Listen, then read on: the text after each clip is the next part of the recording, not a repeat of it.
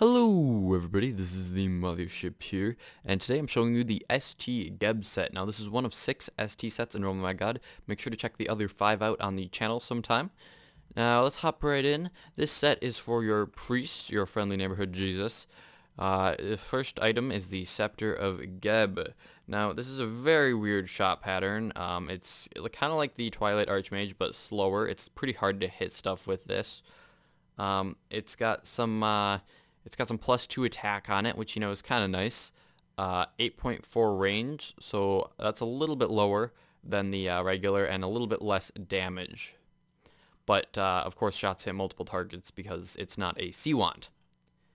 Now, uh, the Book of Geb is a very interesting tome because it's basically a Puri. It gives you uh, speedy and regen, um, but it's sort of low heal, and it gets rid of negative conditions like uh, darkness, things like that. Uh, you also get 3 vitality, 3 wisdom, and 5 defense. Don't forget you can pause the video if you want to see any of these stats.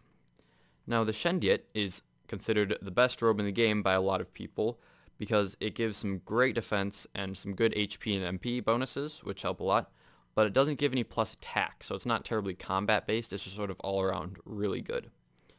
The uh, Geb's Ring of Wisdom is um, one of the best Wiz rings uh, because it gives plus 10 Wisdom, and uh, it's it's overall sort of not incredibly great if you don't want some Wiz and Vit. If you don't have a great pet, this might be a great ring to put on though.